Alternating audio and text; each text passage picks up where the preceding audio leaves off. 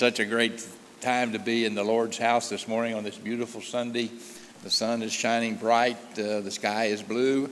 Uh, just wished it'd cloud up a little bit and get us a little rain, but uh, uh we do what we deal with. Uh, it's just so good to see all of you this morning. Uh, if you look in your bulletin for our announcements, a couple of things I'd like to just point out to you.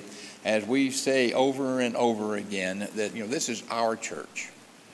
But it is up to us to make sure that all of the activities that go on in this church are taken care of. And so I would invite you to, to look at the bulletin and the insert and look at all the various opportunities there are to serve uh, in our church and pick out the one or two that uh, uh, kind of lights your fire and uh, sign up and, uh, and become an active uh, member of what is going on here at, at Asbury and all.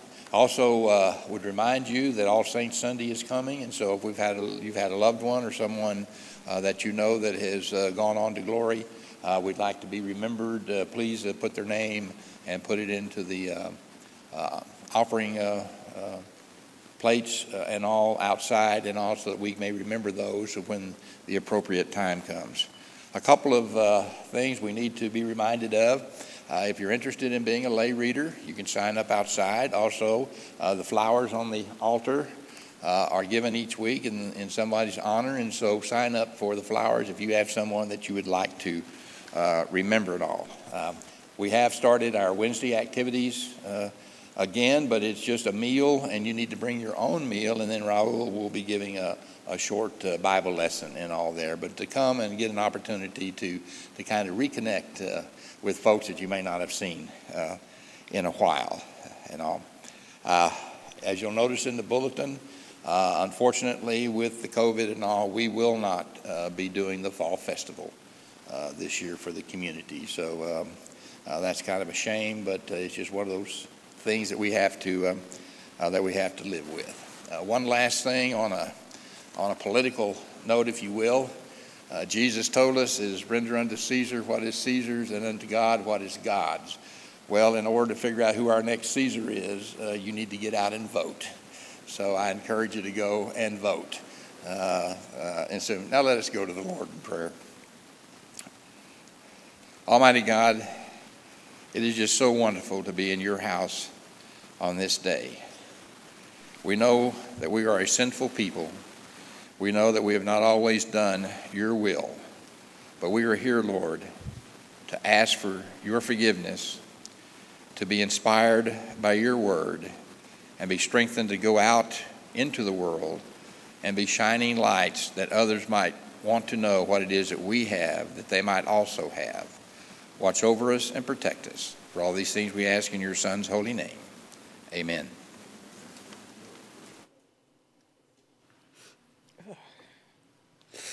Uh, thank you, Charles. it's so good to be here and to see you and to be seen by you. Um, and I also want to thank you for your continued prayers for my husband, Mike. Um, I need them too. so um, if you could continue to pray for both of us, that would be a blessing. Now, if you will please stand and join me in our opening hymn, Victory in Jesus verses 1 and 2, please.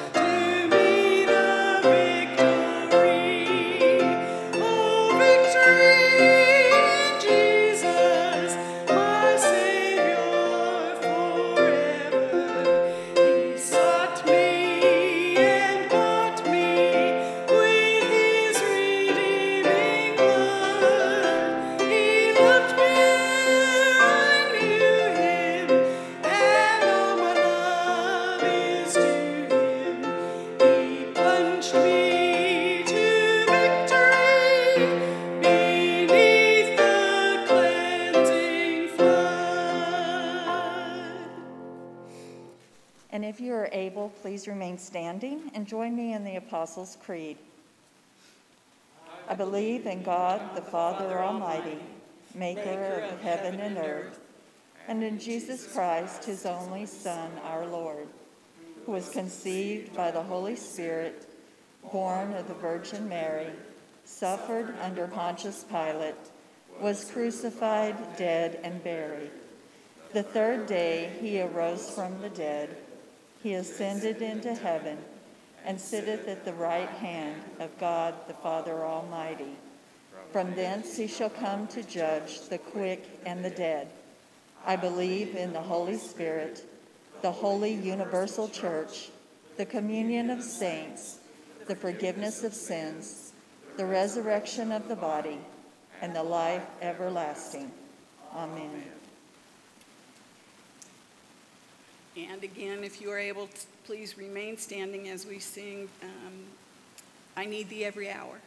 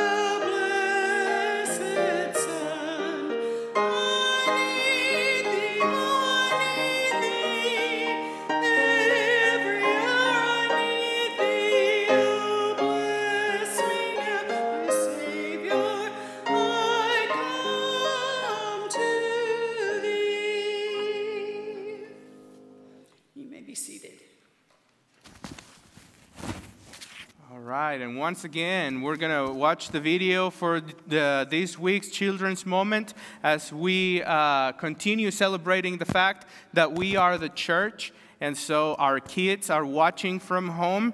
Our kids are being challenged to be the church. Our children are growing in their faith. Uh, along with their parents' guidance, uh, since most of them haven't been able to be here at church.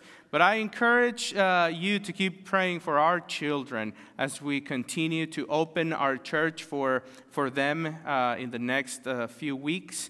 Uh, let's be praying for that. And today, uh, if kids are watching from home, I invite you to watch this video and stay put because there's some excitement coming. So let's watch the video for this week, Children's Moment.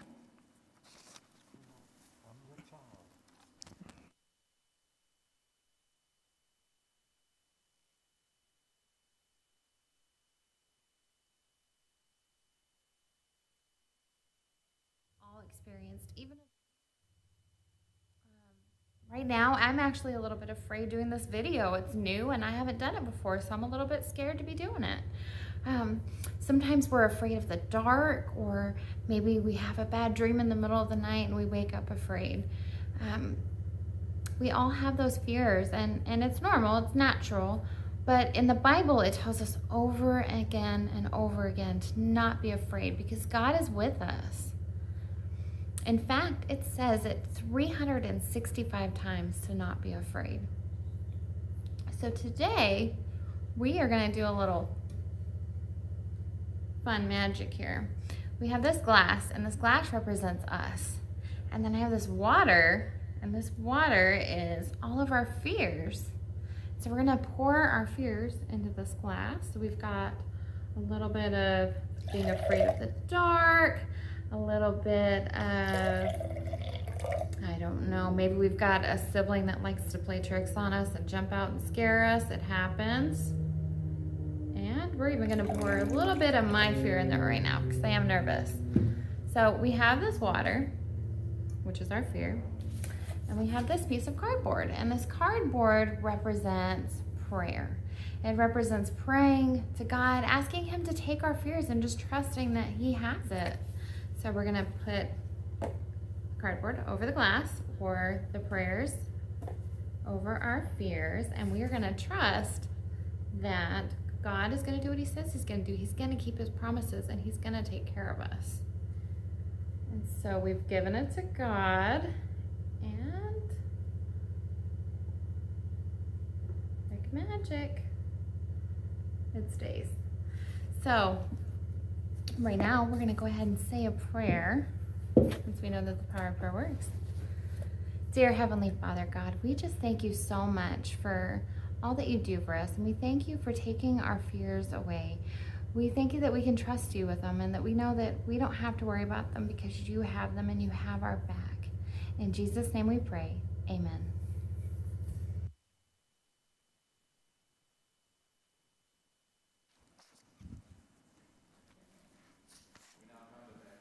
Time in the service where we pray and we asked what we should be giving back to the Lord in order to continue His work. And I have to tell you that during this time of COVID, this time of crisis, when we're we're not all able to to actually come and, and to be here in the sanctuary and to pray and to uh, thank God for all that He has given us and ask for His help. All those that are at home watching on the television uh, stream, the Zoom, or whatever technology they have, uh, it takes money to do all those things. Uh, we still have to pay the light bill. We still got to pay the gas bill. Uh, we still have to pay the staff and all. And so I would just urge you to think and to pray earnestly as to what you can give back to God's work that we can continue this work here at Asbury. I know times are tough, uh, but tough people stand up when times are tough. And so I would just ask you to pray earnestly as to what you can do to keep this congregation and this church going. Uh, you can give your offerings uh, in the baskets that are outside. Uh, you can go online and uh, and give your offerings through the online giving, or you can just uh, come by the church office and drop off your uh, payment. So let us now go to the Lord in prayer.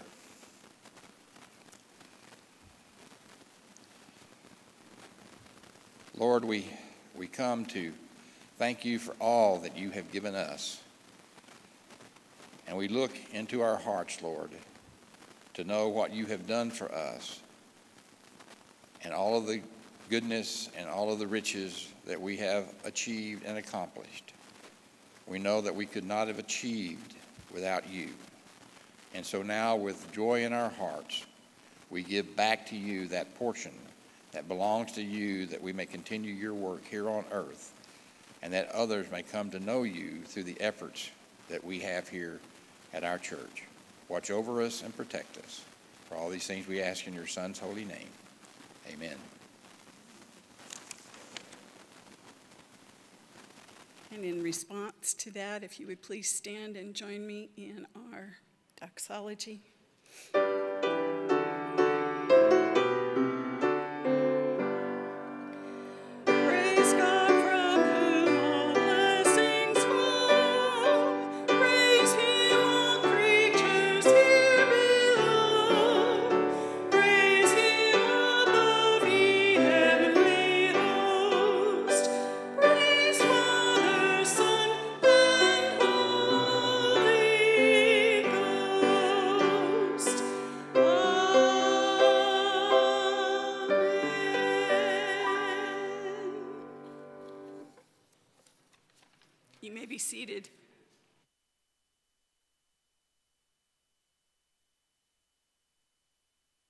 Let us know uh, by filling your cards how we can pray for you. Uh, some of those things we don't add them to the bulletin, but we actually pray for them. And so we want to know how we can pray for you, your family, anything that you're writing there, please let us know. Every Sunday gives us the opportunity to come to, to church and to have a moment of prayer as the church of Christ. Now, today uh, it's no different. Today is a special Sunday, though. Today is a uh, laity Sunday, and we will have our, our preacher from our own church, Bobby. Our friend will be preaching today. We have people, uh, different people leading the service, and we uh, have the opportunity to thank God for the laity in our church. That means you all, everyone who keeps things going, uh, you faithful men and women of God who continuously come to church and give your gifts, your time, your witness. It's a, it's a time for celebration, just to thank God for the fact that He calls us His church. And so today, with that in mind, I will encourage you to thank God for your church. Thank God for the people that, that you have uh, next to you, in front of you, those who are watching and joining us online in our service. Thank God for the people that walk with you in this path that God has put before us. So, as we have that in mind today, in this special day of Laity Sunday, let's go to the Lord in prayer.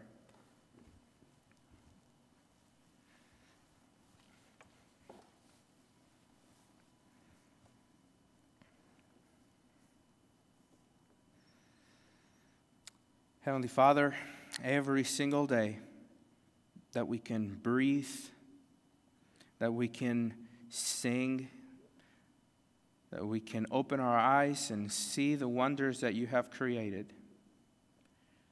Every single day that our hearts are beating, every single day that we can stand up and walk every single day is a blessing for us. Because we believe that you are the giver of life. We believe that you are the giver of blessings, of abundant blessings.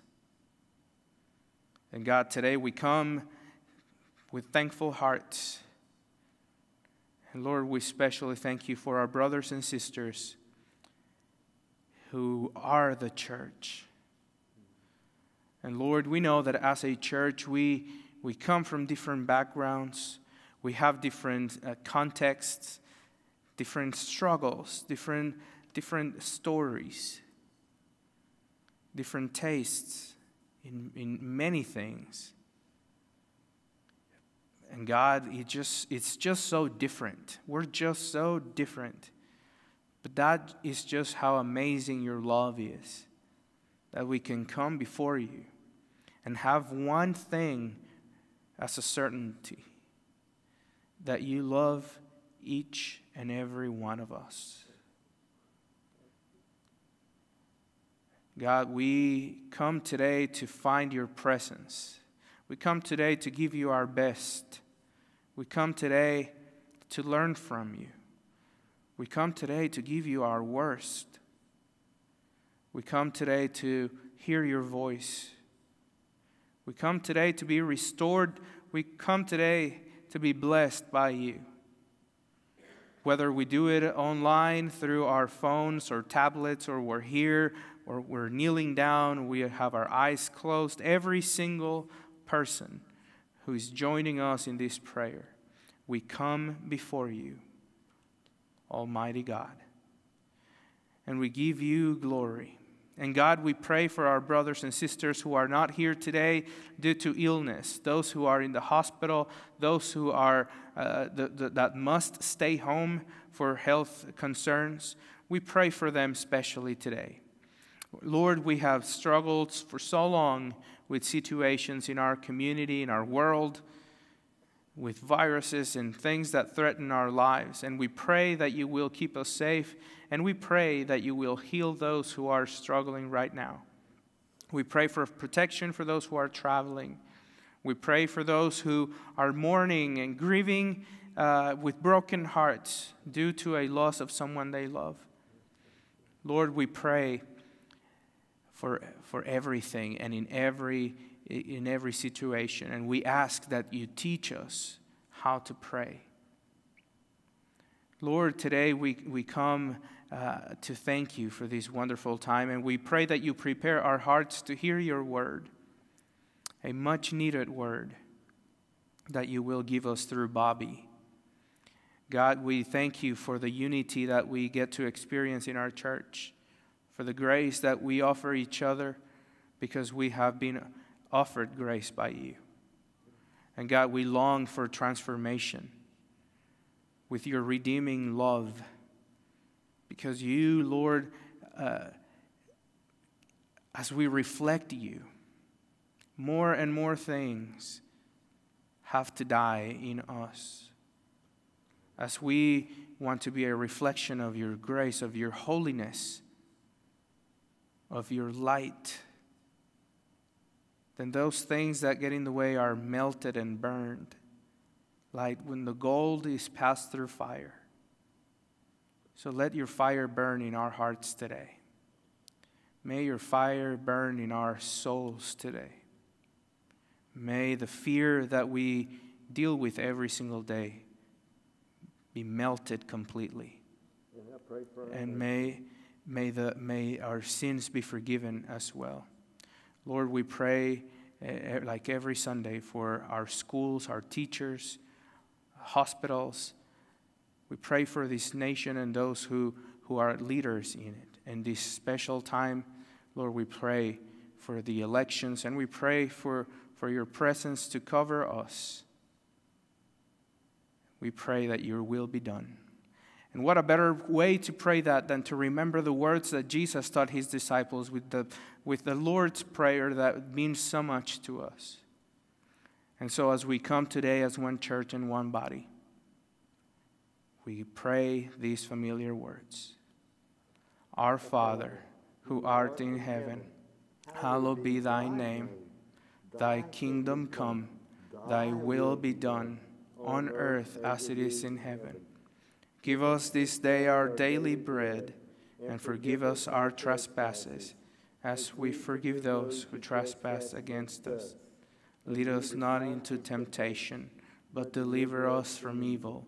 For thine is the kingdom, and the power, and the glory forever. Amen.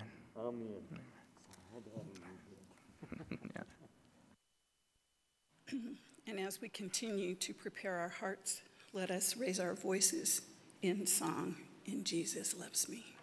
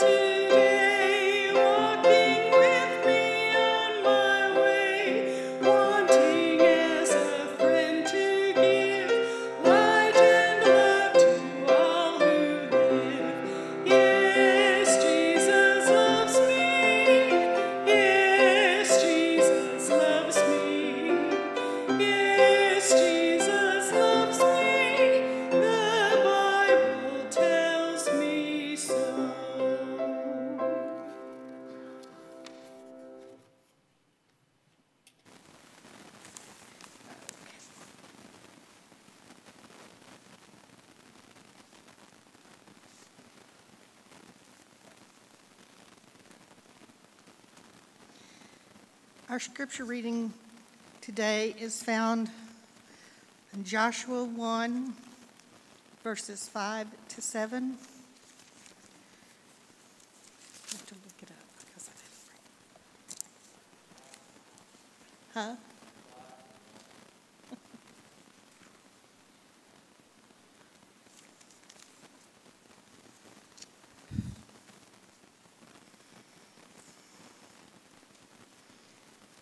And I apologize.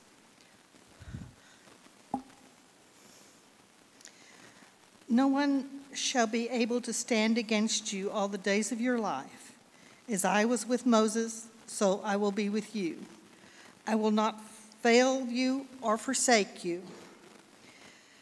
Be strong and courageous, for you shall put the, this people in possession of the land that I swore to their ancestors to give them. Only be strong and very courageous, having been careful to act in accordance with all the laws that my servant Moses commanded you. Do not turn from it to the right hand or to the left, so that you may be successful where, wherever you go. This book of laws shall not depart out of your mouth.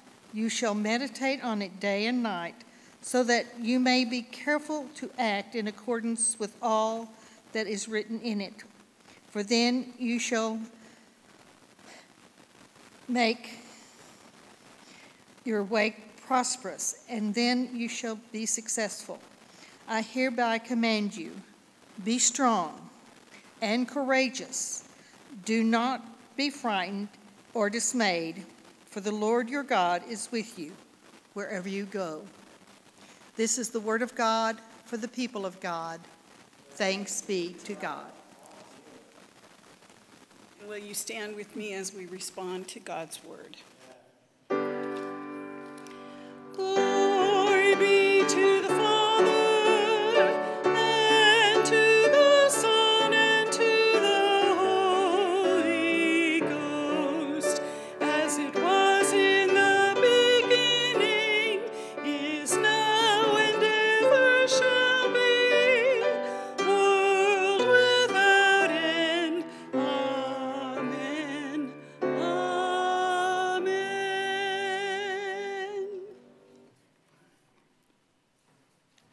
Be seated. And I'd like to welcome Bobby, let me say it in the fancy way, Vandenburg. And he'll always correct me anyway. Bobby, it's good to have you here, my friend. Um, and uh, we, will, we will hear the message today from our, our certified lay minister. Bobby is our CLM at church, and he's uh, continued with his studies in the district, and we're proud to have him here today being our speaker for the day. So, Bobby, thank you for sharing this blessing with us, and may God speak to us through you today. Amen.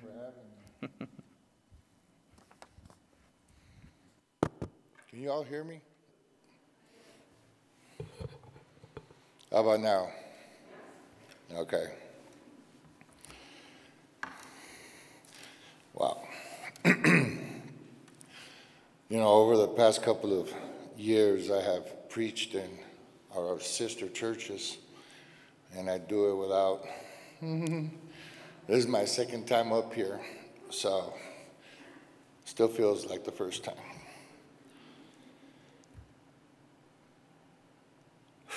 All right. Peace to you from God the Father and Lord and Savior Jesus Christ.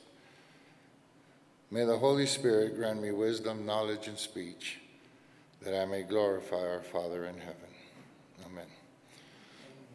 Let me start this message off with the scripture that is found in Joshua chapter 1, verse 9.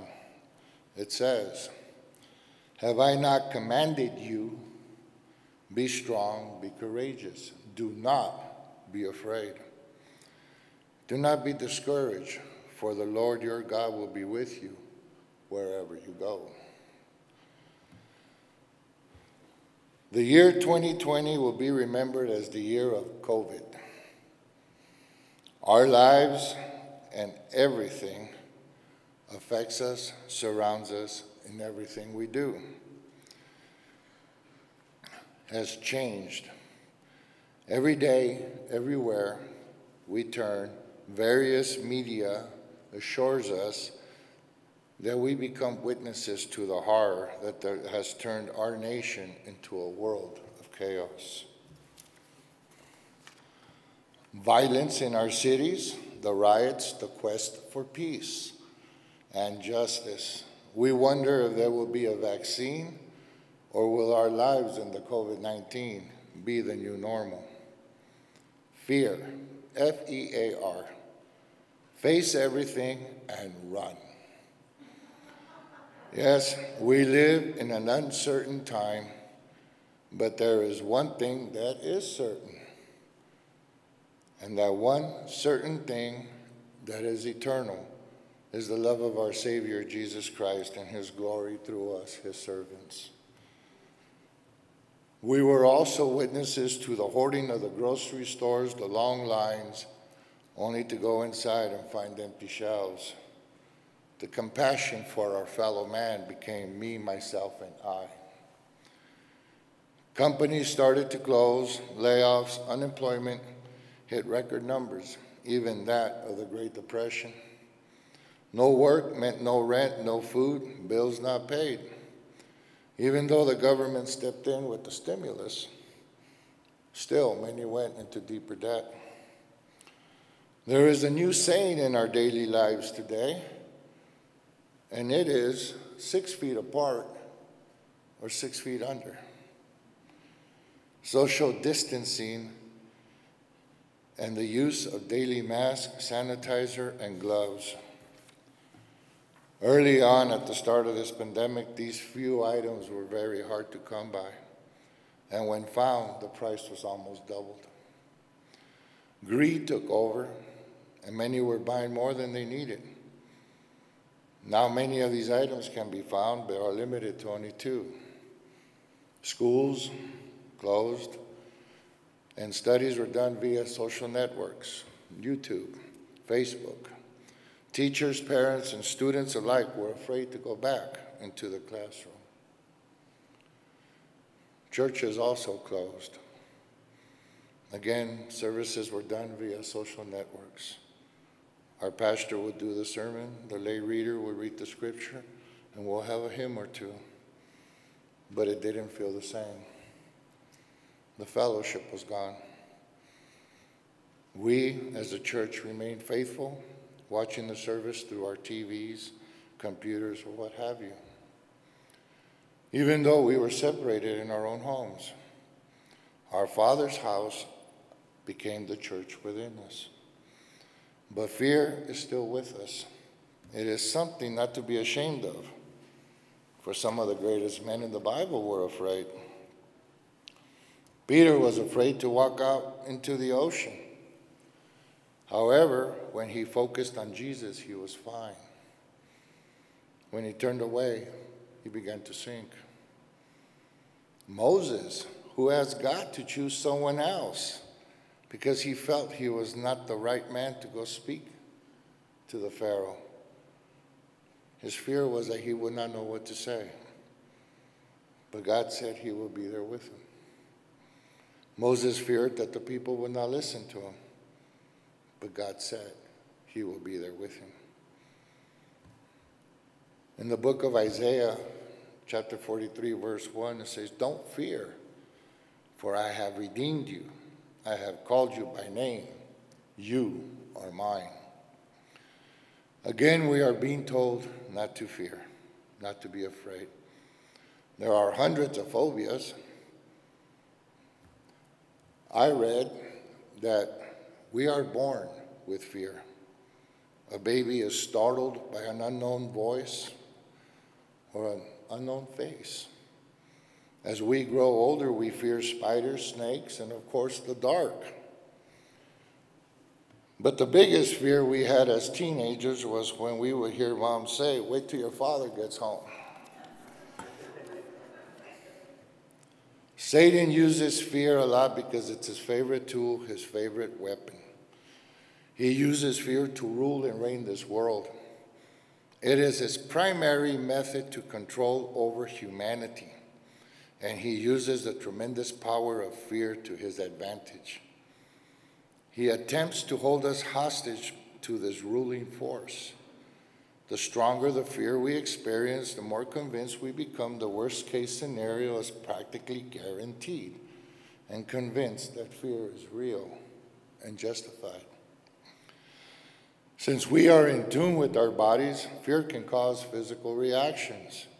For instance, you can shake, feel like vomiting, it becomes hard to breathe. Your heart wants to jump out of your chest and leave without you. These are unpleasant feelings, and we try hard to avoid them. This is why Satan uses fear. It's powerful and it's highly effective. When Adam sinned, we went from being the perfect creation according to God's design to a fallen, imperfect one where everything is broken. We could either do it God's way, which is perfect, or our way, which by default is imperfect. There can only be one perfect way Jesus Christ, our Lord and Savior. And Satan knows this all too well. Satan will also know what fear is when his time comes and it's closer than he thinks. It's all about trusting God and letting God. We as a church are called to live courageously and in peace, even in this frightening world, by remembering that our Heavenly Father has promised to uphold us, strengthen, and help us. If we look at Isaiah 48, verse 13, For I am the Lord your God who, who upholds your right hand, and who says to you, Do not fear, I will help you.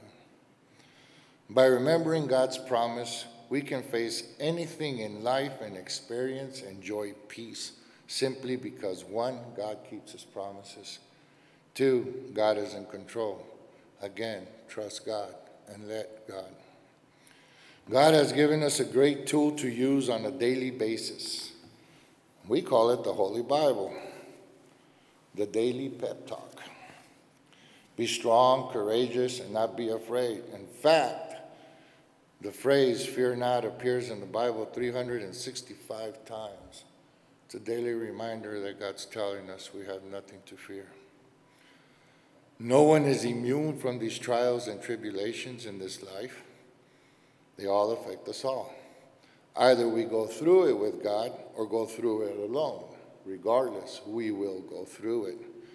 If God brings it to us, then God's grace will bring us through it. The biggest fear that this pandemic has brought to the world is the fear of death. Just in our nation, there are close to 800,000 infected. Or eight, yeah, 8, something like that. And over 200,000 have died. Here in the Permian Basin, we're over at 5,000 infected, plus 100 plus deaths. Death is the black cloud that looms over us that many of us have started to live a hermit like lifestyle. I don't blame anyone for this. No one wants to get sick. And death, even the thought of dying, have become a great hurdle to living the life in which God wants us to live. And by embracing, remembering the love God has for us is evidence and his willingness to become one of us and to die for us. And John tells us in 1 John, perfect love casts out all fear. Our Lord and Savior was crucified, died on the cross with all our sins, and he rose on the third day victorious, for he beat death. He did not die so that we can live in fear. Death is temporary death is defeated. Oh, another scripture, 1 Corinthians 15, 54 through 58. When the perishable have been clothed with imperishable, and the mortal with immortality, then the saying that is written will come true. Death has been swallowed up in victory. Where, or death, is your victory? And where, O death, is your sting? The sting of death is sin, and the power of sin is the law. But thanks be to God, He gave us victory through our Lord Jesus Christ. Therefore, brothers and sisters, stand firm, let nothing move you. Always give yourselves fully to the work of the Lord, because you know that your labor in the Lord will not be in vain. Yes, unfortunately, death is coming to all of us. Death is scary. Both death and Hades were cast into the lake of fire. This is the second death. The first death is physical, it's nothing less than the final, complete accomplishment of the total victory over sin. Death emptied all its venom on Jesus Christ. We don't need to fear it. Jesus Christ went to the grave dead and walked out of it alive. God commanded us not to fear anything because He is with us wherever we go. And through our salvation, through His only Son, our Lord Jesus Christ, there is nothing in this world that we should fear of. Fear, F E A R, face everything and rise, for God is with us. This is the day the Lord made. Let us rejoice in it, for we are blessed to be in it. May the peace of God, which surpasses all understanding, keep your hearts and minds in Christ Jesus and the life ever and the everlasting life. Peace be with you all. Amen.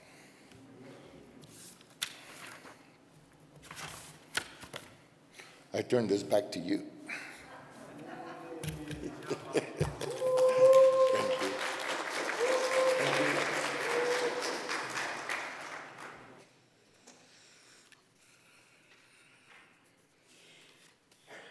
Thank you. Bobby, for that word.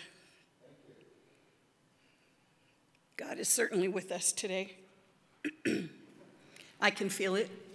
I hope you can too. Now, will you stand with me as we continue to praise God in our closing hymn, Leaning on the Everlasting Arms?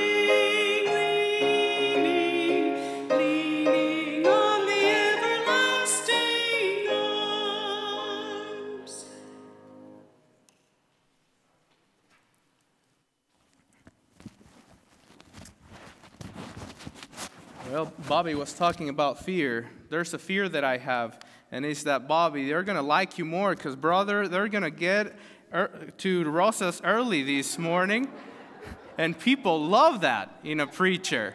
I don't have that gift. We have been reminded of a powerful message today. We've probably heard it before, but it's one of those things that we need constant reminder. We are the church and there's fear that gets in the way. What are you afraid of? Think about it.